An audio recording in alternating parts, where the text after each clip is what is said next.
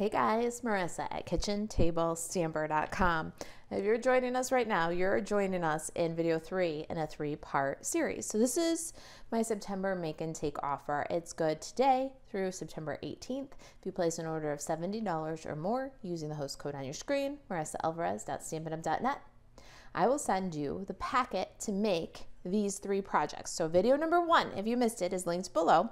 This Thanks a Bunch card. It's a standard eight and a half by five and a half, scored at four and a quarter. It's a standard card. That was video number one.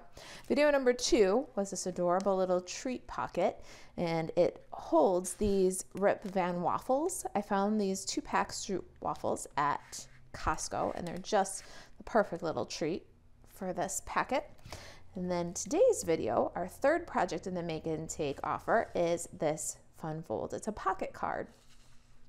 All right, let's get started. And we're gonna start with our card base, Sahara Sand. And this one is five and a half by nine inches. We're gonna score this using our Simply Score tool on the nine inch side. These measurements are gonna be real familiar to you once you see four and a quarter and eight and a half. Now let's work that with a bone folder and we're gonna add a little excitement to our background. All right, we can go ahead at this point and close up our pocket. So to do that, we're gonna run adhesive down this half inch glue flap and then we're gonna run down the left hand side of our open card we can stop about a half inch past the fold. All right, now we're gonna peel the liner and fold up our card pocket. And now we have a really cool standard size card. So it's four and a quarter by five and a half, but it's got a little pocket on the side for your pull out tab. That's fun, isn't it? It still fits in a standard envelope, just adds a little bit something different to your card making. Now, to add a little excitement to our background, we've got a cool fold. Now we're going to get some mini grid paper here. We want to protect our surface because we're going to stamp past the edges. Make sure we've got our open side on the right and Memento Tuxedo Black ink. My little spatter stamp here is a favorite of mine. We are using the spatter from Quiet Meadow. We're also using the butterfly from the coordinating meadow dies. So if you haven't um, checked those out, they're still available and I believe still available with a bundle discount. All right, let's go ahead and stamp little spatter off the bottom left. And I like to make it just a little bit wider by adding that tail again. And then off of the top here. And again, I'm to flip my stamp and make this a little bit wider by getting back in here with the tail. I love the contrast of that spatter. It just kind of sits in the background but it uh, breaks up that solid Sahara sand. All right, well, we've got the Memento Tuxedo Black ink. Let's grab our Stamparatus and a couple of bits of cardstock. Got my Thanks a Bunch stamp here and some Sahara Sand cardstock. I'm gonna pop this strip into my Stamparatus and holds it down with the magnet. Then to get a darker impression on the word bunch, I'm going to ink and stamp and then re-ink and stamp. And the reason is I'm finding on the Sahara sand, which is a little bit toothier than basic white, I'm getting kind of a sketchy image. And it's primarily on the word bunch because it's um, a, a, a, thicker font. It's a wider uh, like a brushstroke font. And so if I ink and stamp two times, then I get a very nice solid thanks uh, and the bunch is nice and solid too. And we're also going to stamp the inside of our greeting. This is basic white. And this piece is four and five eighths by three and a quarter. It fits perfectly inside of the die cut that we have here. This is for the for the card pull out. It's the largest rectangle from the scallop contours dies. Now, if you get the make and take kit with your $70 or more purchase using the host code, we're going to cut that out for you. We won't weed it for you. um, we're going to cut that for you. And this little piece of four and five eighths by three and a quarter will fit nicely on there. So let's go ahead and stamp our inside greeting. Outside, it's going to say thanks a bunch, and on inside, it's going to say congratulations on reaching a whole new level of wonderful. I know a lot of people who constantly reach a whole new level of wonderful. And what I've found with this image on the basic white is even though it's got the two different fonts, I don't feel like it needs that ink stamp ink treatment. And I think it's just because the basic white is an extra smooth cardstock. It's made for, for stamping and, you know, line images and coloring. So I think that's the difference. But let's go ahead and adhere that down for the inside of our card centered. And we'll set it aside for just a minute. While we're stamping, if you've been watching the series, you know we've got So Saffron and So Saffron ink we're to do our sunflower, so saffron on so saffron. Love that image. My goodness, I love this stamp set. So our fun here with this make and take packet is really taking this um, stamp set, the Celebrate Sunflower stamp set, and combining it up with the brand new Host Reward Designer Series paper, to Celebrate Everything Designer Series paper. Take something brand spanking new with something that's been around for a little while that you might have and bring it together to make some awesome projects. That's kind of the idea here. If you get the make and take packet, you're going to get that stack of paper in your packet. You're going to get a nice little sampler of that host exclusive paper that has two each six by six sheets. So there's um, 12 piece or there's 12 pieces of paper there's two patterns on each, one on each side, and you're gonna get two six by sixes, so 24 sheets uh, of designer series paper. And it's a host exclusive, so I hope you'll enjoy that little sampler. You're gonna want more though, and you can earn this celebration you can earn this Celebrate Everything designer series paper with your order of $150 or more. You can't buy it, but you can earn it for free using the host rewards. So we're going to run our sunflower and die cut that. We're going to die cut our sentiments. I'm using the seasonal labels dies. So I took the label, long skinny one, and the thread hole for the tag, and I taped them together with some um, low tack tape, a little washi tape, and I'm going to cut out my greeting you get the kit, we're going to cut these tags for you just in case you don't have this die set. You'll just stamp on your tag. And then let's see what else we can run. I'm going to try and run as many as we can in one pass. I got early espresso and our sunflower details. We've got some, got a piece of basic black for my flower center. Get that. And I'm also going to try to run my Old Olive and Pear Pizzazz in this run too because I'm going to need two pieces of, you're going to need two leaves for this project. So you're going to have to run this twice. I've put a little bit of adhesive, um, the adhesive sheets on the back of my old olive so that my detail leaf will come out self-adhesive. And then I've got my, my solid leaf in Pear Pizzazz is going to go without adhesive. It doesn't need adhesive on the back. All right, I think I've got it loaded up as tight as I can get it for this pass. Let's give it a crank. All right, let's pop these out. We're gonna run another pass.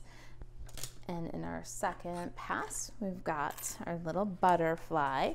We're gonna run that with a scrap of vellum.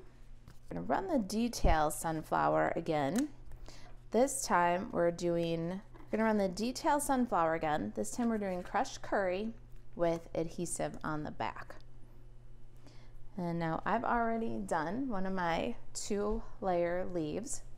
Would run that again for our second pass so that we could have two leaves. But for the magic of television, I already made one ahead. All right, let's get this out of the way and assemble our sunflower. Going to remove my sunflower from the die. And then I'm going to remove that sunflower from the die.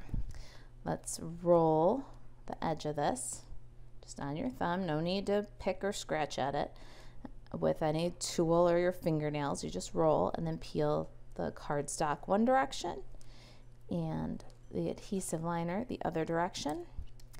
And if you do that, you should end up with this delicate die and it's mostly weeded for you and ready to go with all the little negative spots pulled right out. See how easy that makes it? Love this product. All right, there's just two little spots left in. We'll pop those out and into the trash. Now let's line up using our curved petals as a landmark. Got curved petals here. If you line those up first and then stick this detailed layer, it'll line up perfectly. The adhesive, it's all adhered nice and easy. Next, we've got our early espresso sunflower. And that little dude, we're going to cut just the center. So we'll pick an area and just snip the petals. As you snip the petals, you knock the die cut negative piece away with the scissors and you'll get a gorgeous dark textured early espresso center. See, snip and knock it away snip, and you'll just go around the center like such. I love the dark two-tone center with the early espresso around the outer and the basic black for the inner. You get a really cool sunflower effect this way. Let's glue this guy on with liquid glue. And we'll do this little guy right here with a dimensional. If you've been watching this series, you've seen me do this trick a couple of times, but I just love it. And maybe you're popping in at the end of the series. If you've got a die cut that's stuck in the die, you can grab a piece of washi tape, stick it to the die cut, pull the die. There's your die cut. Nice, easy way to remove stuck images out of the die. I'm going to glue my early espresso outer center with liquid glue. And let's see if I can line that up. And then my inner center, I'm going to use my favorite basic black Stampin' Dimensionals. I love these Stampin' Dimensionals. You get two sheets of this regular size Stampin' Dimensional and two sheets of the minis all in one pack when you're doing something like this where it's black center, if you had white adhesive, it would show through those little pierced holes. It would show from the side of the sunflower. So they're not just for Halloween. They really do come in very handy. All right, what do we want to do next? I think we have a couple of layers here that I want to adhere to the card front. We've got a die cut. This is the second largest from that same Scallop Contours dies, cut from Basic Black. And we've got a piece of Designer Series paper. This is the Celebrate Everything Designer Series paper that I showed you earlier. This is 2 and 5 eighths by 3 and 7 eighths. We're going to adhere the designer series paper to the scallop cutout. And then we're gonna pop the scallop cutout with some dimensionals. I couldn't resist. We're gonna have a little bit of double dimensionals here because we've got the dimensionals under this layer and the dimensional under the flower center, but I couldn't resist the pop. And again, nice black Stampin' Dimensionals. So when you look down the side of my card, you don't see any glaring white little spots. It's just a little bit cleaner that way, I think. And you get a good value of the, both sizes in these black Stampin' Dimensionals. If you're looking for some things to add to the order to get to that $70 plus for your host rewards, check out the black Stampin' Dimensionals and the adhesive sheets. We're using some awesome adhesives in this project. All right, we've got our little dude on center. We've got our pull out message. Now let's add the little edge so that it's easier to pull. And we're gonna do this swoopy circle. We're gonna punch that from some basic black. This will be punched for you if you get the kit. We do the punching, we do the scoring, we do the die cutting unless it's the sunflowers. That's one's on your own. Um, then we're going to emboss this. So you see that we've got some more wood grain texture there. It's the rings this time. I think it's just kind of a nice coordination with our exaggerated wood grain texture from the Celebrate Everything. I'm gonna pop this into the tree rings, this hybrid folder, and then in that biggest ring, pop it on number one. Over the top goes number four, and we'll give that a crank. It's gonna add a cool texture that has a nice tactile grip when you grab that edge to pull your card. It's just a simple little detail that makes the whole thing cool. All right, get this back in. Now I'm going to fold my swoopy circle and you'll notice that it's got kind of rounded circles this way. It's got kind of pointed circles this way. So you want the rounded ones at north, south, east, and west and then fold in half.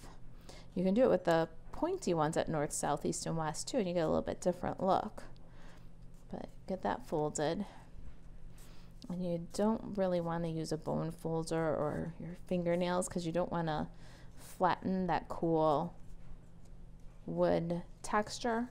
So just give it the best crease you can without flattening out that embossed you want to put some liquid glue on both sides and then add this to the edge of your little pull out tab. Now this is a really fun textural element. You're going to feel that when you go to pull the little card out of the pocket and then it reinforces with the little wood grain texture. All right, back to our sunflower. We can adhere that to the card. And again, we're gonna do it on liquid glue on the center of the sunflower because we're gonna add little leaves and things underneath. And let's see, how do I want that? I think about there, a little bit high of the center, a little bit left of the center. Got a scrap of old olive in the bough punch. We're going to punch two of these little boughs. You can here if you want to just snip the stems a little bit short. Just gives you a little more room when you're putting them under your sunflower. I'm gonna add one. And you want to keep it within the bounds of the card here. So don't go past the edge. And then another one. It's going to extend down into the corner here. And then our leaves. We've got one that's already assembled. Let me put one, the other one together. For this second one, we're going to just pop that right out of the die. and then peel like we did our sunflower. Cardstock in one direction and the liner in the other direction. All these little bits just fall out. Adhere the olive to the pear pizzazz. It makes this detail so easy. I'm a good gluer and don't mind gluing, but that just makes it so easy. All right, now our little leaf here on the bottom of our sunflower hangs off the edge of the scallop. The scallop, you remember, is on dimensionals. So let's trim a little bit from the edge of our dimensionals. We're going to pop a little bit of dimensional on the end of that leaf just to give it some support. I really do love these sunflowers. I'm so glad to have them out again and using them with the brand new host exclusive Celebrate Everything Designer Series paper is a fun way to bring brand new together with something that might be tried and true from your from your collection. So I really do hope that you're enjoying this series of products or series of projects. We're going to add a linen thread bow to our tag. It's going to be a nice loopy bow, leave the ends curly, big ears, long tails. Don't handle it too much. Let it stay kind of curly and whimsical. And we'll adhere that with liquid glue. Let's find that vellum butterfly that we cut. And we'll fold up the wings, add a little liquid glue to the body, just a dot where you can hide it because we're going to add the opal rounds. Bring in my opal rounds. Just a few left here.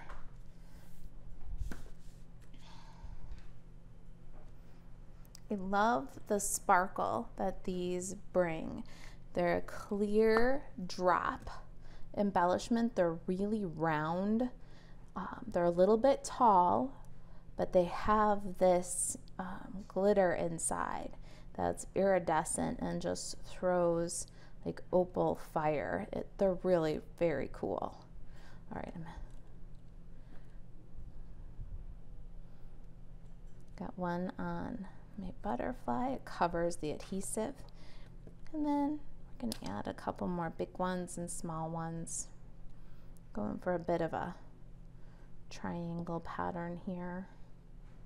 Triangle placement. Yep, I love the rainbow fire that these embellishments just add to this kind of neutral design.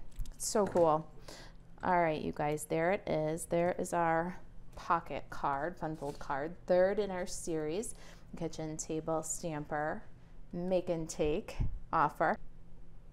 Now, if you don't have an order for me, that's okay. The uh, extra packets will be available for purchase in the kitchen table stamper store.